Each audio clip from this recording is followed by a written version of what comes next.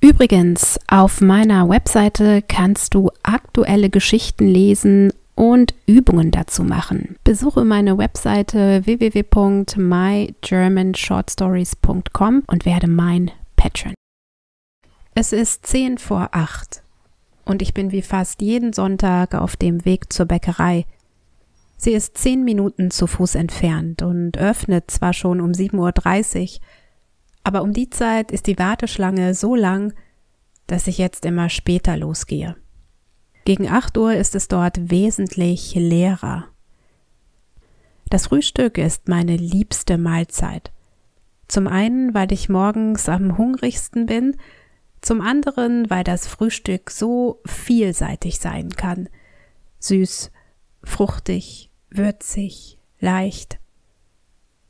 Der Grund, warum ich so ziemlich jeden Sonntag früh aufstehe, um in die Bäckerei zu gehen, sind aber nicht nur die warmen, frischen, duftenden Brötchen. Ich mag die Ruhe. Es wird gerade erst hell. Die Straßenlaternen leuchten noch. Das wundert mich etwas, denn ich dachte, sie werden erst mal langfristig ausgeschaltet, um Strom zu sparen. Vielleicht passiert das noch. Der Himmel ist klar und die Temperatur ist angenehm warm.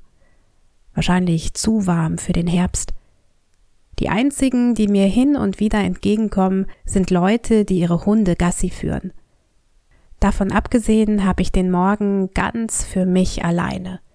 So mag ich das. Es ist derart warm, dass ich in meinem dicken Pullover anfange zu schwitzen. Ein T-Shirt hätte völlig ausgereicht. Auch wenn die Temperaturen eher untypisch für den Herbst sind, ist das gelbe Laub auf dem Boden das eindeutigste und typischste Merkmal für die beste Jahreszeit. Nach circa zehn Minuten bin ich in der Bäckerei. Wie erwartet ist die anfängliche Warteschlange verschwunden und ich komme direkt dran.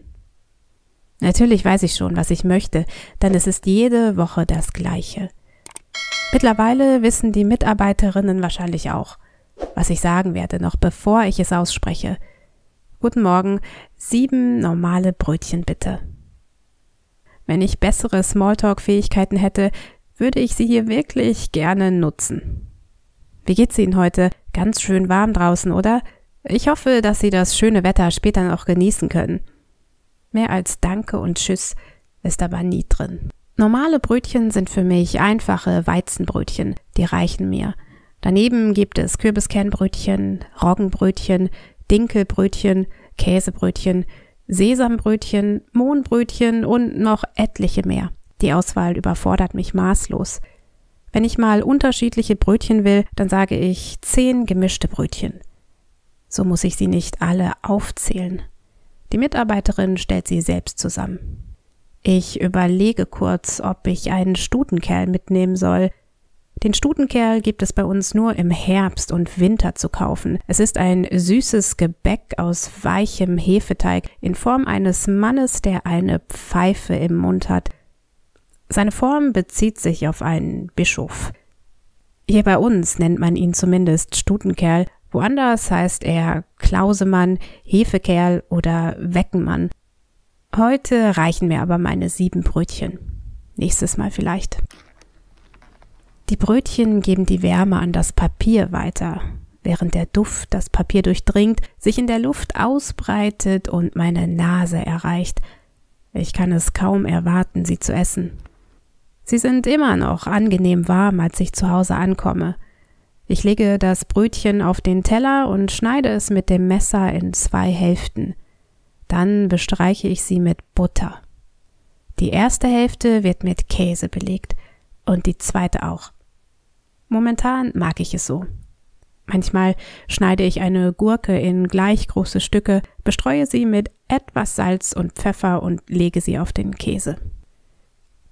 Eine Zeit lang mochte ich die Kombination Frischkäse mit Erdbeermarmelade oder Quark mit Erdbeermarmelade dann Butter mit Schokoladencreme und Butter mit Quittengelee.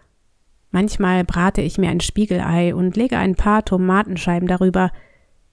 Den Möglichkeiten sind hier fast keine Grenzen gesetzt. Womit belegst du dein Brot oder Brötchen gerne? Zu meinem Käsebrötchen trinke ich morgens meistens eine Tasse Kaffee. Ich nutze zur Zubereitung weder eine herkömmliche Kaffeemaschine noch eine dieser professionellen Barista-Kaffeemaschinen. Mir reicht einfacher Filterkaffee. Dazu brauche ich erstmal eine Tasse. Dann stelle ich den Handfilter auf die Tasse und lege ihn mit einem Papierfilter aus. Dann befülle ich ihn mit ein bis zwei Teelöffeln Kaffeepulver und gieße es anschließend mit heißem Wasser auf. Danach gieße ich die Milch dazu. Viel Milch. Sonntags esse ich meistens ein Frühstücksei. Ich mag es eher flüssig als fest. Nach zwei Minuten ist es fertig gekocht. Ich bestreue es mit etwas Salz und Pfeffer. Das war's. So oder so ähnlich läuft der Sonntagmorgen ab. Also, bis nächste Woche. Tschüss.